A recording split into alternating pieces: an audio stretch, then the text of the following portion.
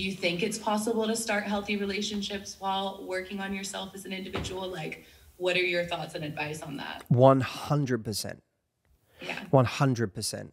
I, I actually, I really don't like the idea that we have to be completely happy and enlightened and have everything figured out. And that's when the right person comes along. I think that's nonsense. I, you know, Who even is that? who is that? Who is that? And by the way, half the time when it's someone saying, you need to be happy with you first, when it's someone saying that, half the time it's a person who's married who definitely wasn't in that place when they met their spouse. So there's something deeply hypocritical about it. We are always working on something. We're always going through some new problem, some new stage in our life that we weren't ready for. And we are going to do an awful lot of healing with the right person. In fact, I would argue that the right person is partly defined by the person that is the greatest catalyst for that healing.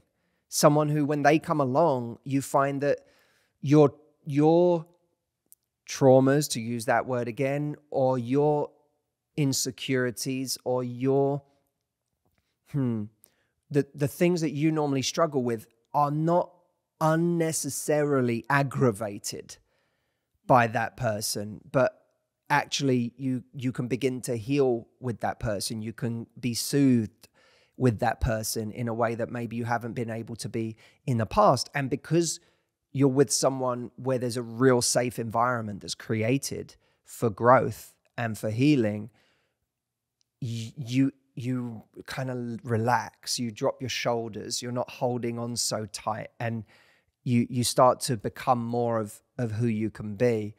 So I, I, I prefer rather than thinking we have to be happy before we find someone, I prefer the idea that we have to get to a we have to be happy enough before we meet someone. Happy enough is a much better phrase and it's a much more attainable goal.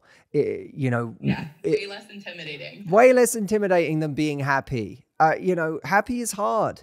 And and I know it can be simple. It can sometimes feel easy, but often happy feels really really hard. What I prefer to think is when you when you're happy enough, it means I'm happy enough.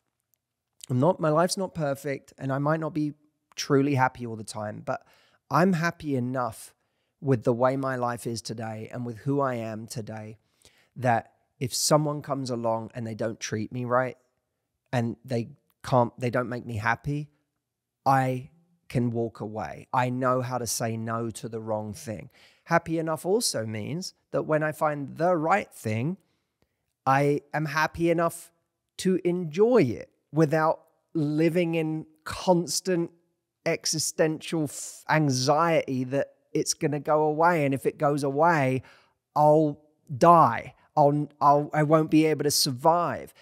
Happy enough means that we are robust as ourselves in our life today in a way that allows us to go and meet the world in our love lives in a strong and um, in a strong way that that means we're not constantly about to to go to pieces or say yes to something that's going to be bad for us long term.